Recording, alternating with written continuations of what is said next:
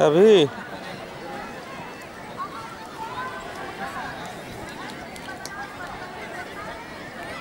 अरे थोड़ा मुँह भी इधर कीजिए ना।